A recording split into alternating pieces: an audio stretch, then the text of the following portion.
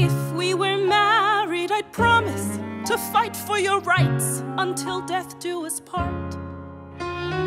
If we were married, I'd promise to put down my work when you need me to tend to your heart. When we are married, I'll love you, although it will render me legally dead. If we were married, you'd always exhaust me.